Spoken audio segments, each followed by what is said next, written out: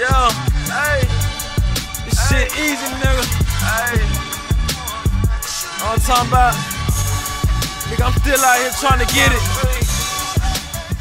Contender Regime Boxing checking back in with y'all, man. What's good?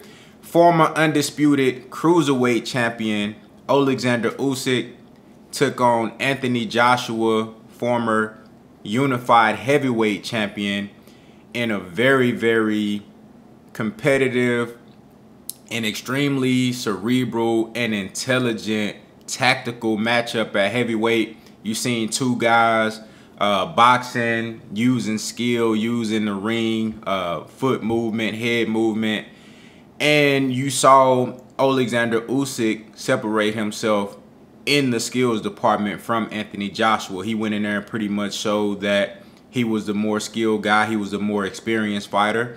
Um, he had more tools. He had a, a deeper uh, bag of tools and skills that he can dip into. Um, he showed you the ring generalship. He pretty much showed you everything that you want to see from a heavyweight in terms of overall boxing skills. And I liked what I saw from both guys in certain points of the fight. As far as Anthony Joshua goes, I did like the fact that he made some adjustments in the middle of the fight where he started to lead with the straight right, uh, started to go to the body more with that right uppercut to the body, something that I felt like he should have been doing early in the fight to slow Alexander Usyk down. Um, you know, but it just wasn't enough. Usyk came out and jumped out three zip on the cards. He came out and started fast. He was very active. He was moving, feinting a lot, uh, throwing. He was, uh, you know, putting that jab out there and then throwing that straight left. And then a lot of times he would lead with the straight left, just timing and lining Anthony Joshua up, who was literally just straight on the line with not much head movement and not too many different angles and Alexander Usyk took advantage of that, and he went out there and uh, you know had a great game plan. He he did he started out fast. Anthony Joshua, in my opinion, took control more so of the middle of the fight, even though the rounds were kind of going back and forth. Anthony Joshua did pull off a string of a couple of rounds here and there. I scored the fight 7-5 for, for Usyk. So it was a competitive fight, though Usyk did show a lot of dominance in the most important parts of the fight, which is why I believe he got the victory. Um, I wasn't tripping on the scorecards at all. They were pretty accurate, especially the 115 and 113. That was my score, you know, but I wasn't mad if uh, if Usyk got some of those swing rounds because there were some very, very close rounds that could have went either way. So I'm not tripping on the fact that the other two judges gave him – uh, two of those, two or three of those swing rounds. So overall, it was a very fun matchup to watch. It went by really fast, and that's how you know a fight is good when the rounds is just flying by. I'm like, damn, you know what I'm saying? I'm like, I wish we had 15 round fights again. You know what I'm saying? Because the fight was just going by so fast. And one thing I want to say, man, we already knew Anthony Joshua was a was kind of you know, clumsy or um, a little bit stiff and tripping over himself and not really just, he just doesn't fight very fluid.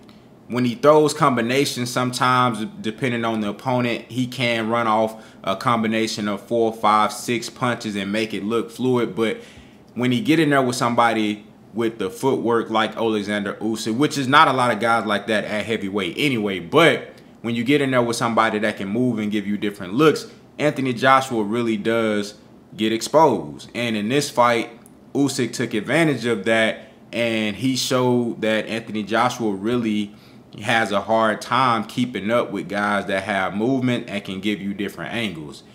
And um, you know, Joshua, like I said, he did make an adjustment in the fight, but Usyk made an adjustment to the adjustment um, I saw Usyk start, you know, towards the middle and the late part of the fight. He started to let off early in the round, or he might come out early in the round, try to hit Joshua with some, try to hit him with a straight left, and then he'll let off and then start to finish the, the last 30 seconds, 45 seconds of the round, and that really does sway the judges. and which is a great strategy, especially when you're actually doing good work and you're landing shots, which is what Usyk was doing. So he really put on a masterclass performance versus the heavyweight champion, who was the unified heavyweight champion, and I, I just want to give kudos to Usyk because you see I have him on my pound for pound list. He's definitely gonna move up spots. Some people feel like you know, he shouldn't be on on the pound for pound list. At least before this fight, people were giving me stuff talking about well, Usyk shouldn't be on there. He ain't did and he ain't fought nobody. But this is why I put him on there because number one, I don't put heavyweights on the list. But unless you're a heavyweight that came up from a lower division, and this is why it was so impressive to me. Why Usyk was so impressive to me because number one, he cleared out cruiserweight fought the best guys there, became undisputed, and then he said, "All right, let me challenge myself and go up to another division, the heavyweight division, which I mean, this is the the best of the best. This is these are the most dangerous guys in boxing, and you can't go no higher than the heavyweight division." So he said, "Fuck that. I'm gonna go. I'm gonna go up to heavyweight and test my skills." And he had a couple of, you know, in my opinion, were mediocre outings, which kind of gave me a little bit of uh, hesitation on um, you know, his what I thought his chances were gonna be versus Anthony Joshua. I knew he had the skills, and I knew stylistically he matched up well with having the speed, both foot and hand speed advantage, and then overall having a better boxing skills. Um, just guys extremely skilled. You know what I'm saying? So I just wondered whether or not he could take a punch from a guy like Anthony Joshua, whether his punch would be enough to hurt a guy like Anthony Joshua. He showed that he was able to get Joshua's respect and hurt him multiple times in a fight. So that really impressed me a lot for him to be undisputed at cruiserweight and then go up to heavyweight. So a guy like that can be on the pound for pound list because he's not a true heavyweight. He's moved up divisions, which, you know, that right there alone is one of the staples of being a pound for pound fighter, being able to show dominance in different divisions. So that's one of the things that can give you a, a, a huge a huge bonus in my book.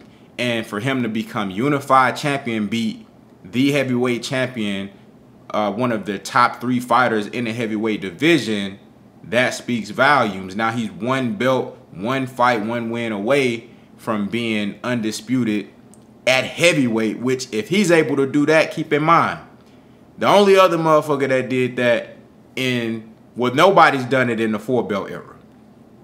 Um, outside of Claressa Shields. Claressa Shields is the only one that ever did undisputed in two different weight classes. She's currently undisputed in two different weight classes at the same damn time. I don't think nobody ever did that. You know what I'm saying? But in the four belt era, uh, Claressa Shields is the only one that's undisputed in two different weight classes. Um, Terrence Crawford has an opportunity to do it at welterweight because he's been undisputed at 140. Alexander Usyk now has a chance to do it at heavyweight after being undisputed at cruiserweight. In the in boxing history in general, there's only been one guy that's done it. Period. Outside of Claressa Shields, he did it in the three belt era. Evander Holyfield, who in the same position that Usyk is in now. He was undisputed at cruiser and then went up to heavyweight and became undisputed. So Alexander Usyk definitely has an opportunity to do something special and make history. And I mean, I would love to see him try it. You know, um, I know that there's a rematch clause for him and Joshua. I actually think Usyk will go into that fight as a heavy favorite. I just think stylistically, what he showed in that fight, I really don't see Joshua being able to make too many adjustments. If you look at the adjustment that he made versus um, Andy Ruiz, he chose to box more in that fight. And Ruiz was out of shape, but I'm not gonna take credit away from Joshua. He made an adjustment, fought a different fight, and he won in a in a masterclass boxing performance. But he can't do that versus Usyk. He's not gonna outclass or outbox Alexander Usyk. He gonna have to like fight him, rough him up, and beat him. Now that's possible because at heavyweight anything can happen. But I will heavily favor Usyk going into that rematch, and then we'll see what happens on October. What is it, the third or the sixth, with Deontay Wilder versus Tyson Fury, the, the uh, trilogy. I expect that fight to be nothing but fireworks, and I'm expecting the unexpected in that fight. So whatever happens there, I'm interested to see if, you know, if Wilder wins, they do a fourth fight or, you know, hold off a little bit and then probably link up for a fourth time later on. We really don't know what that's going to look like. If Fury wins that fight, then I would like to see him fight the winner out of the rematch. If Usyk wins, if Joshua wins, of course, they're going to have a third fight. So, um, y'all let me know what y'all think down in the comments. How did y'all feel about Alexander Usyk's performance? where do you now rank him on your pound for pound list? Um, and what does this mean for the heavyweight division? Because I think Usyk put the heavyweight division on notice. In my opinion, just from what I see, I already knew that he had all the, the skills and the tools, especially being a smaller guy. You're faster, you're quicker. Um, you know, you're used to boxing from a more skill standpoint as opposed to power and brute strength. So those tools followed him up to heavyweight, and he showed that he got a decent chin on him. He showed that he, he has enough pop on his punches to make those big guys respect him. So in my opinion, that just puts Usyk on another level from all the guys at heavyweight. I think he's by far, not by far, but I just think overall, and I mean, you might, maybe you can say by far, as far as just pure skill and the sweet science and boxing ability, I think Usyk separated himself as far as skill. So I really don't see any other guy at heavyweight that's as skilled as Usyk.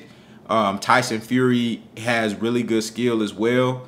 I don't think he's on Usyk's level in terms of just pure skill, but he does have that element of being 6'9", 300 pounds. So that's always going to be a factor. No matter how skilled a guy is, that's a huge motherfucker. You know what I'm saying? So uh, we'll see how it all plays out, but y'all let me know down in the comments what did y'all think about his performance, man, and what do y'all expect to see from Usyk going forward in the, in the heavyweight division, man. Contender regime, boxing, I'll holler at y'all boys, man.